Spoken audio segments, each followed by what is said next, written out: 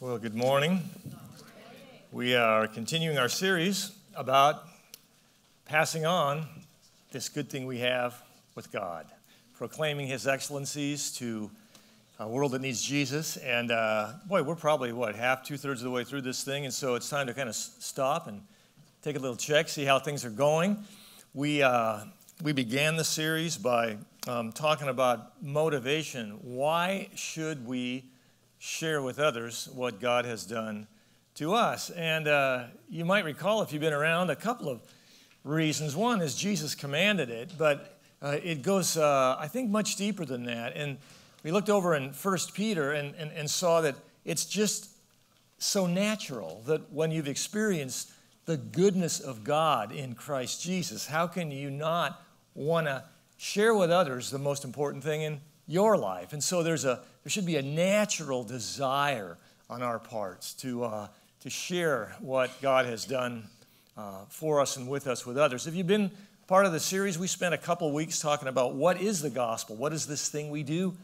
Uh, share with others when we get down to speaking words uh, and communicating the uh, message of Jesus' death, burial, and resurrection. And we looked at a, a, number of things. We've looked at, uh, gosh, Brandon did a great message on Nicodemus last week, and we talked earlier in the series about the guy, the blind guy. Remember, he didn't know any theology, you know, he didn't know who this Jesus was, and the Pharisees are going on and on at him. He says, Look, one thing I know, you guys, I was blind and now I see. And we talked about sharing our personal story as part of proclaiming his excellency. So, what we want to do today is kind of stop midstream here and ask, how's it going?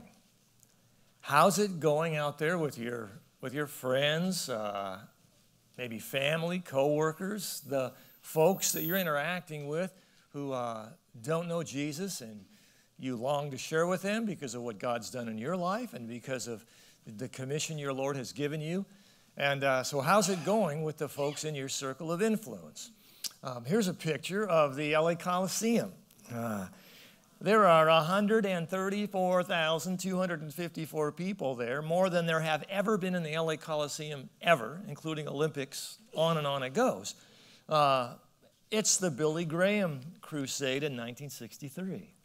Billy Graham went around after World War II in the 50s and early 60s doing crusade after crusade after crusade, hundreds of thousands of people, and tens of thousands, even hundreds of thousands came to Christ. And I couldn't find this quote on the internet, but I remember reading somewhere where Billy Graham was remarking on this period of history. And he said it was as if the whole world was ripe for the gospel. How about your world? Is your world, whole world, ripe for the gospel? Mine's not. I don't know about yours, but mine's not. My world, because I'm in a Christian bubble working at a church and working at a Christian university, is the people I intentionally befriend and make contacts with out in the fishing community and more recently in the music community. And uh, I am not finding uh, a whole world out there that's ripe to the gospel. In fact, it's interesting the relationships I'm making with these musicians, most of whom are uh, mature dudes like me. Um, and uh, these guys, I spent four hours at one guy's house uh, last Saturday just hanging out, playing through some jazz standards with him. And uh, nicest guy. But these guys are older folks who are uh, like me who are kind of set in their ways. And many of them went through some tough backgrounds, the whole rock and roll scene, uh, smoking pot, drinking, cleaned themselves up, and they've uh, they've learned over the years strategies for how to deal with life, and they're pretty stuck in their ways. And so I don't, I don't see a whole world ripe for the gospel. I see some guys more open than others. The same deal in the fishing community. I mean, you go on a fishing boat and see how many guys you find who just can't wait to fall on their knees before Jesus. Uh, not a lot, okay? Uh, uh, so that's my world, but there are some. There are some. And that's why we continue to share. Uh, so I want to stop today. If there is ever a, a template, a model, an example for somebody who uh, knew how to teach the truth perfectly, but saw varied reaction, much like you and I do, it was Jesus himself. So I want to take you to the Gospel of Mark today to a parable where Jesus describes what our expectations ought to be when we go out and we share God's love and God's word with others. But uh, before we get to this parable in Mark chapter 4, we need to get a running start because there's a reason Jesus waits until Mark 4 to tell this parable, and it has to do with Mark 1, 2, and 3. And I'm not going to read the whole Bible here today, but I do want to hit the ground running when we get to the parable. So I want you in a Bible, Gospel of Mark, chapter 1. And if you don't have a Bible, there's one under the seat in front of you, and I'll be on page 836, and we'll be turning pages till we get to Mark chapter 4. Page 836, Mark chapter 1. And what we're going to see as this unfolds is Jesus liberally spreading the seed of the gospel, the good news, far and wide, and experiencing, just like you and I do, some very, very different reactions. Okay? And we'll talk about those reactions, and there's a set of out, an outline set of notes. We'll have you fill in some blanks as we move along later as well. But Mark chapter 1, Jesus comes on the scene for the first time in his public ministry in Mark 1, starting with verse 14. Notice what Mark writes. He says, Jesus came into Galilee proclaiming the gospel of God, the good news about God, and saying, The time is fulfilled, and the kingdom of God, the reign of God is at hand. Repent and believe the gospel, believe the good news. So here Jesus comes out, and it's kind of programmatic in Mark's gospel. At the beginning, he's going to come out and he's going to preach to everyone. And so, verse 21 of the chapter, he goes into a synagogue in Capernaum and he's teaching. Verse 22 says, They were astonished at his teaching, for he taught them as one who had authority and not as the scribes. And then look what happens in verse 32 of Mark chapter 1. That evening at sundown, they brought to him all who were sick or oppressed by demons, and the whole city was gathered together at the door. And he healed many who were sick with various diseases and cast out many demons. Then, a few verses later, verse 38, he says to his disciples, Let us go on to the next towns, that I may preach there also, for that is why I came out. And he went throughout all Galilee, preaching in their synagogues and casting out demons. So Jesus is indiscriminately sharing life, sharing love, sharing the gospel, the good news, both the message and through his healings and exorcisms with everybody and anybody who he would be in contact with. And then when Mark 2 begins. In Mark 3, we begin to kind of turn around and we see the reaction to what Jesus has done. And much like in our own lives, that reaction varies from person to person and group to group. Some real positive reaction. Notice Mark 2, verse 1. When he returned to Capernaum after some days, the word got out, and uh, verse 2 many were gathered together, so that there was no room, not even at the door and he was preaching the word to them. And they came, bringing to him a paralytic carried by four men. Down in verse 15 of the same chapter 2, and as he reclined at table in his house, many tax collectors and sinners were reclining with Jesus and his disciples, for there were many who followed him. Very positive response to the message. But then we began to see looming on the horizon some not so positive responses. Look at the very next verse, Mark 2:16. And the scribes of the Pharisees, when they saw that he was eating with sinners and tax collectors, said to his disciples, Why does he eat with tax collectors and sinners? And then in Mark 3, the negative reactions get more and more intense. Now we have Jesus' family. It says he went home, Mark 3, verse 20. Then he went home, and the crowd gathered again so that they couldn't even eat. There's a positive response, but look what happens now. When his family heard it, they went out to seize him, for they were saying, He's out of his mind. He's nuts. And it gets worse. Moving down a few verses later, Mark 3:22, and the scribes who came down from Jerusalem were saying, He is possessed by Beelzebul and by the prince of demons, he casts out the demons. Not only is Jesus crazy according to his family, he's evil, he's demonic according to the Jewish leaders. So here Jesus is indiscriminately, lovingly shared the good news, the gospel, with all who would hear, and these varied reactions. And you can kind of imagine the disciples, uh, the people who are really responding, thinking, you know, God has returned to his people. The promises of the Old Testament are being fulfilled. And, and, and why, why the negative reactions? Why is this stuff going on here? Uh, the people who really got Jesus must have really wondered by, why others didn't.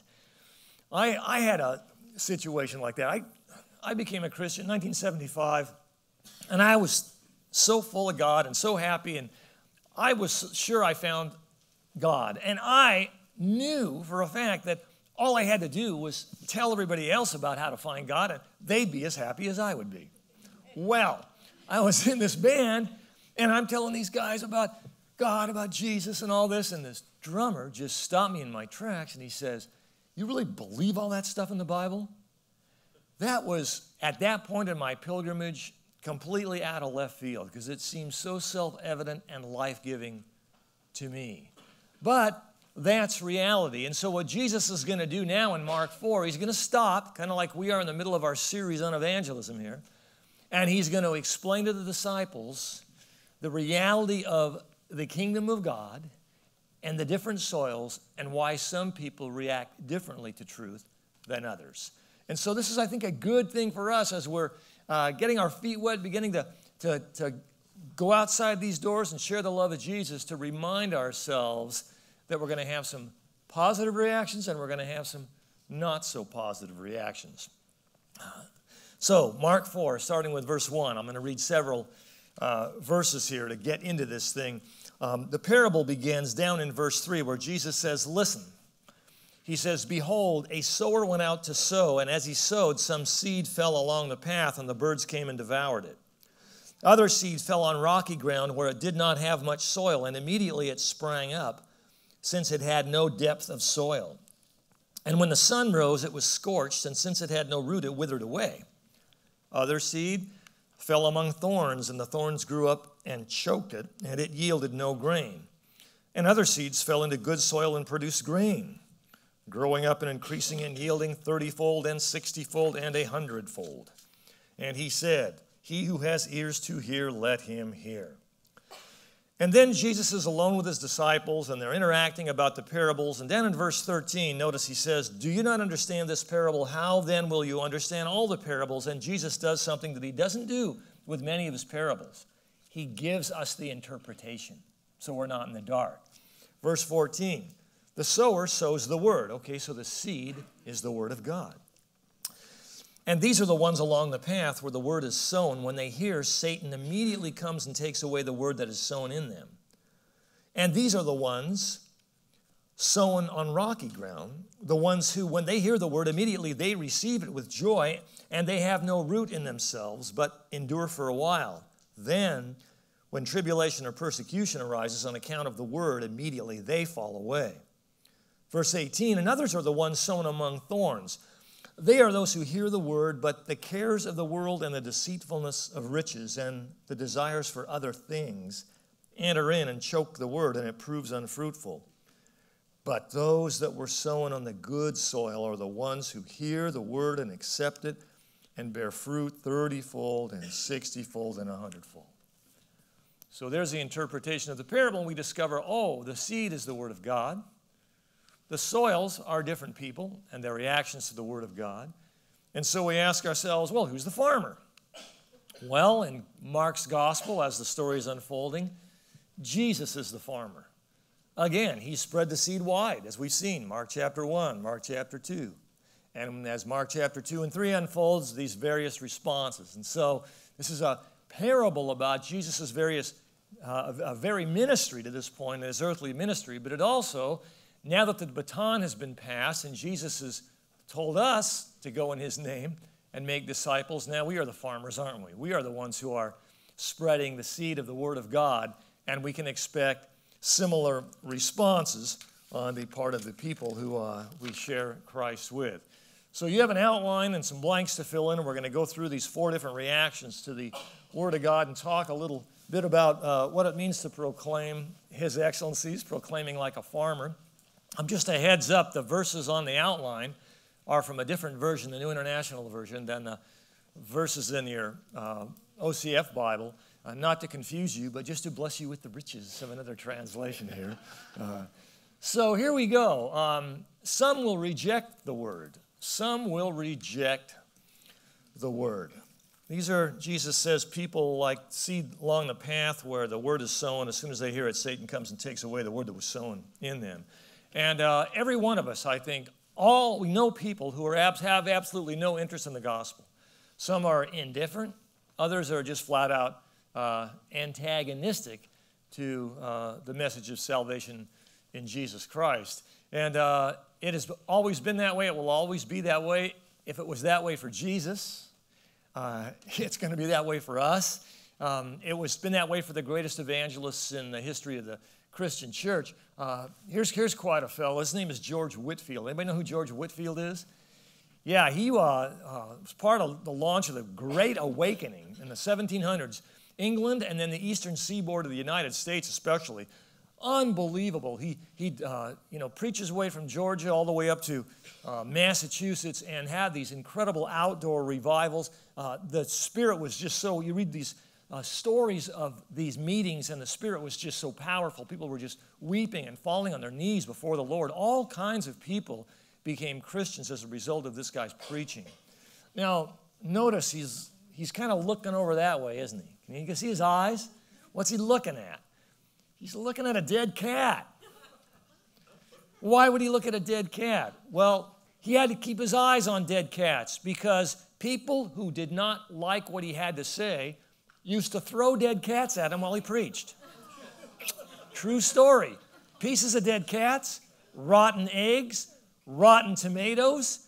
Now, when you uh, are rejected by your friend who doesn't want to hear the gospel, just sit and think and get real for a minute. When's the last time you had a dead cat thrown at you when you shared Christ, okay?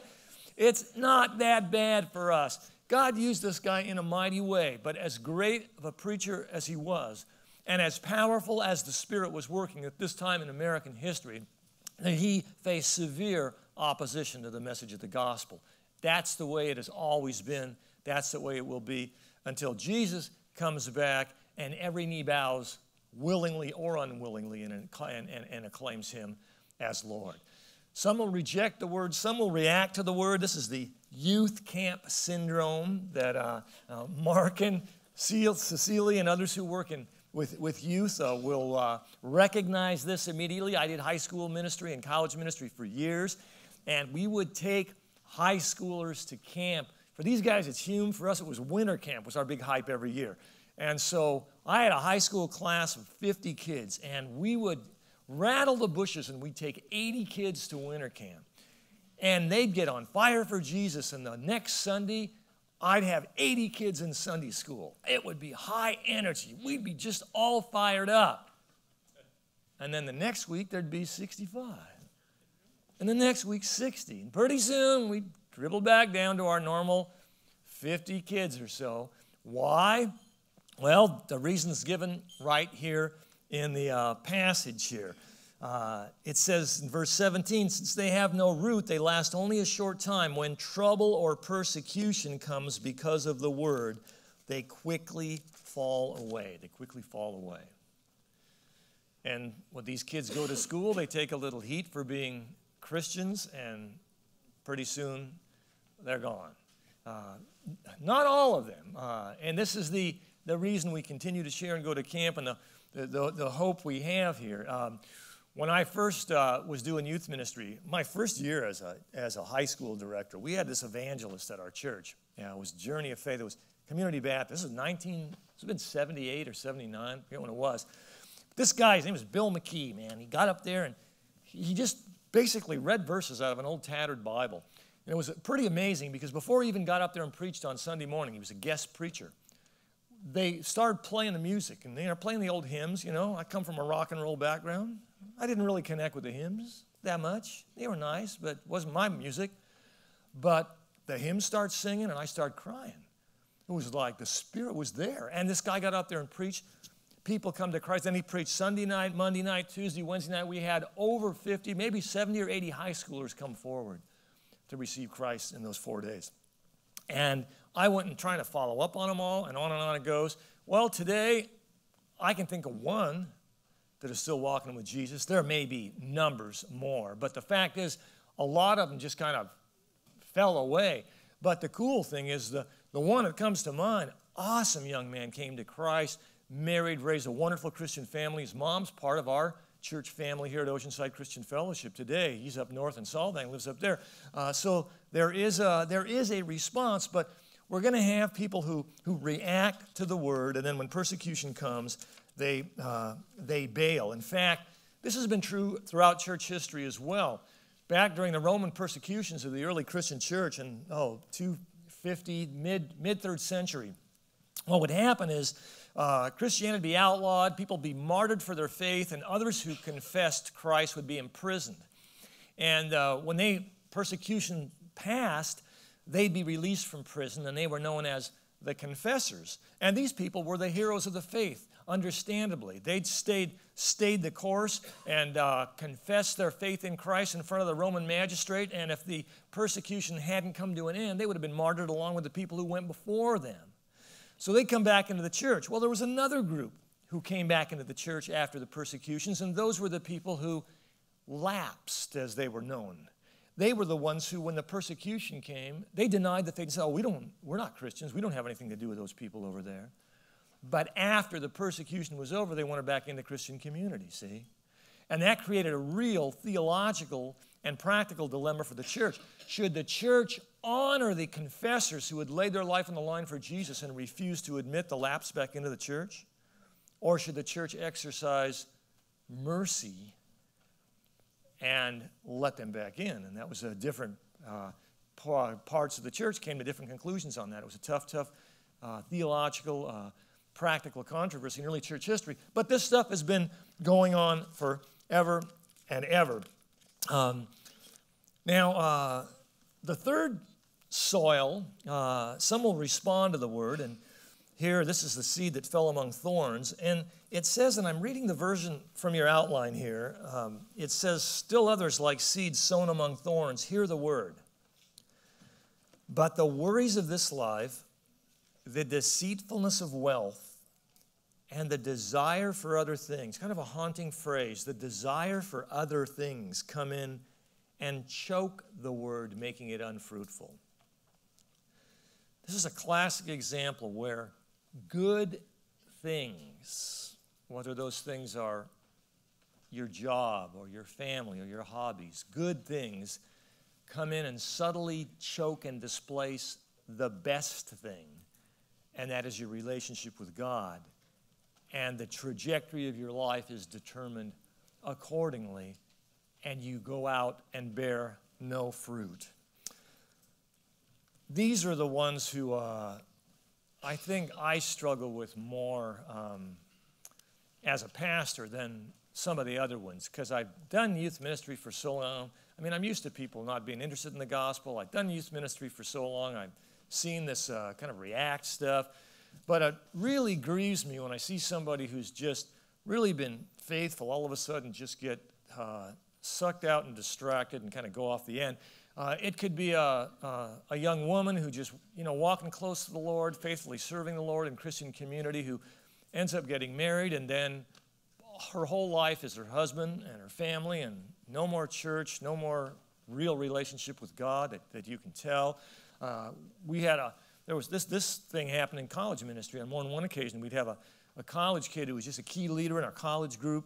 Um, they have one fellow on my radar screen, a gifted guy even had him in a teaching rotation, doing some teaching, and uh, went away to college, graduated from college, got a career, and just got totally sucked up in the satisfaction of climbing the corporate ladder so that his Christianity, again, just kind of went off, uh, uh, off the rails. Uh, again, uh, we're going to see this. Uh, but here's why we persevere, folks. Here's why we persevere is because some will retain and reproduce the word. Some will retain and reproduce the word. Jesus says, Others, like seed sown on good soil, hear the word, accept it, and produce a crop 36 and even 100 times what was sown. Now, I want you to notice here The fourth seed is the real one, okay? It's the real thing. And this is not about hearing and responding to truth, it is about hearing and reproducing the truth. The real thing will produce fruit. And the Bible variously describes that fruit. It can be character qualities like the fruit of the Spirit love, joy, peace, patience, kindness, goodness, gentleness, faithfulness, self control. It can be fruit that Paul talks about his spiritual fruit of the Gentiles who are coming to Christ. It can be the people we pour our lives into, our fellow Christians perhaps, unbelievers who respond to the gospel. Uh, this is exactly what Jesus is talking about here. And it's interesting, uh, almost 40 years in ministry certainly give one a little uh, perspective. And we'll do a little debriefing here in a minute. But we really, as we're spreading the seed, uh, boy, it would be nice to know exactly who those people are, but we, we don't. And we don't even know this side of eternity, I don't think, who those people are. We think we do. Um, so I had, uh, you know, in youth ministry, people just uh, all fired up, ready to go, who end up just kind of disappearing. I had others. I, I one guy in particular, uh, um, Ron Dunnett, will remember Pat Andrews. Okay, uh, when I first met Pat, he was a senior at El Segundo High School. We took him to camp, and he was not one of those kids who ran forward and gave his life to Jesus at camp. He was like one of the kids who sat kind of in the back of the bus and uh, kind of like you were when you were in junior high, hanging from the railing at church, you know. Uh, and he, you know, making, you know, that's kind of the thorn in the youth worker's side, you know. Well, uh, here's Ron Dunnett walking with Jesus. I won't tell everybody how many years later, but uh, Pat Andrews, this guy, he went with, he's been a missionary with Wycliffe, translated the Bible into uh, all these languages. Just uh, an amazing story. You just don't know when you're spreading the seed who is going to be who. Now, uh, just some uh, kind of closure here. First of all, we need to remember that we are off the hook, folks, because we're not responsible for how people respond to the gospel. That's God's doing. And I think one of our big, biggest problems is we take it personally, we take it on our own shoulders that somehow we have to convince people that it's the truth Somehow, if they don't respond, we haven't done our job. My goodness, look what happened to Jesus. Jesus was, you know, all these people responding. By the time he finished spreading the seed, he was hung on a Roman cross and had no one. Few women afar watching him die, even God, my God, why have you forsaken me? Disciples gone. Okay, so if you think you can do better than Jesus, you want to beat yourself up because people aren't responding, be my guest. But the liberating message here is we just spread the seed and we share the love that God has brought into our lives with others through word and deed, and the results are completely up to Him and the power of His work in our lives. The second thing I think we can learn from Jesus is the message that we should be liberally and generously sharing with everyone and strategically investing in a few. Because this is what then, because Jesus strategically invested in the 12 and then the three, Peter, John, and James, and especially Peter, you begin to see the fruit of that investment unfold in the book of Acts as this handful of guys go out and change the world, and we're here as a result of that today. And this is a really key thing when you think no matter what your uh, circle of influence is like, God is going, to, I'm convinced, God is going to bring somebody, some people into your life that if you invest deeply in them, you are going to see a reproducer. You're going to see fruit. Uh, when I was involved so much in the fishing community, year after year, spending hours at the tackle shop hanging out with these guys, uh, I mean, I'd get called on to do a funeral now and then and this and that, but not a lot of response. And there was one little feisty guy. He worked part time in the tackle shop. He was retired. And, you know, like a, he's like a little Napoleon. You know, just, just, just, just try to be my friend, and I'll kick your butt. You know, I mean, this guy was, this guy was, he was cranky and hard, and he didn't have any friends because of it. And one day he had a stroke, fell on the ground in the fishing shop, homebound, and uh, no friends. I just went over, hung out with him every couple, three weeks for two, three hours, month after month after month after month. I just sensed that I don't know why. why. Uh, just God prodded me. Uh, so many people I haven't done that for, but this was one I did. And uh, gradually, the soil, hard soil, began to soften, soften, soften. He received Christ before he passed away. I baptized his mom, did one of his granddaughter's uh, weddings, and uh, uh, it just is a, just such a lesson to me. I, uh, this is something I'm always got my radar screen up out of Biola because I teach these classes to these guys going into the ministry, and I'll have 20 or 30 uh, young men and women in the class, and uh, for most I'll just be there, check off that course. But for one or two, I'll, they'll resonate with me somehow, and I with them. And they're, and they're grabbing me for lunch, and we're hanging out in the office, and I'll have a chance to just really invest in, uh, in that person as a reproducer. So uh, be generous, share with everybody, but keep your radar screen open. Who has God brought into your life to just lovingly invest in? It may be an issue of you just being there for that person before you can say a word week after week, month after month. But you'll know if you're listening to the Holy Spirit and you'll respond in that way. Finally, uh, and I'll close with this, I'm going to leave the blanks on the other part of your outline empty. But there was a lady who left in the early service all distressed because she didn't get her blanks. And I said, That's good for you, you know? You have to trust Jesus this week, you know? I told her, I'll hit you with an email, I'll give you the blanks.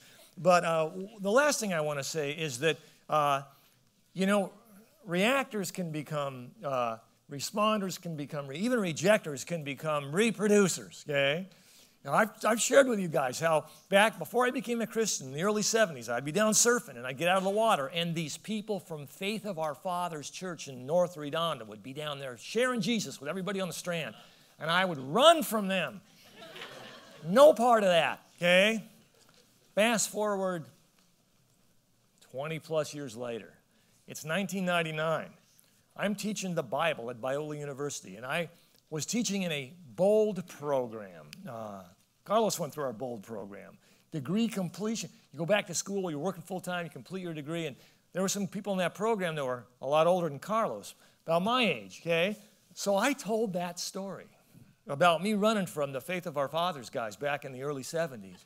And this guy in class about my age goes, I was part of that church. Okay, now imagine. I may very well have been running away from that guy, and now I'm teaching them the Bible. Go figure, okay? All because somebody cared enough to throw out the word to me, scatter seed, share Christ to me.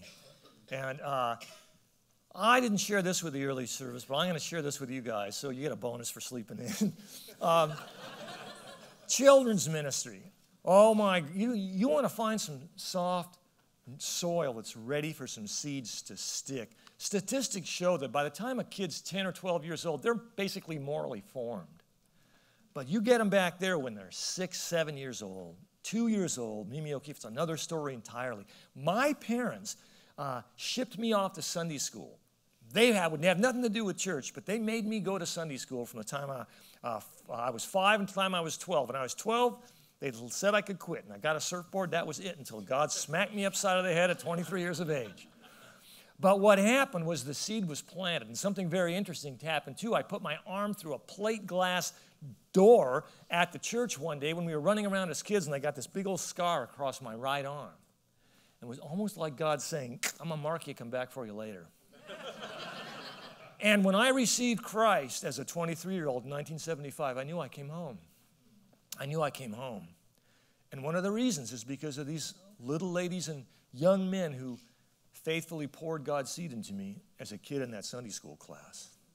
Opportunities right there, folks. Opportunities in this church, opportunities all over the place to share the love of Jesus in so many ways. Paul had a real tough time when he first got to Corinth. There was reaction. The, the procurator got involved. It was a big stink. And he was probably about ready to give up. And God appeared to him. You know what God said to Paul? Acts 18. God said to Paul, He said, Do not fear. I have many people in the city. I have many people in the city. And Paul stayed for 18 months and saw all kinds of people come to Christ. I have many people in the city. And you are in relationship with some of them. And so am I. Let's pray.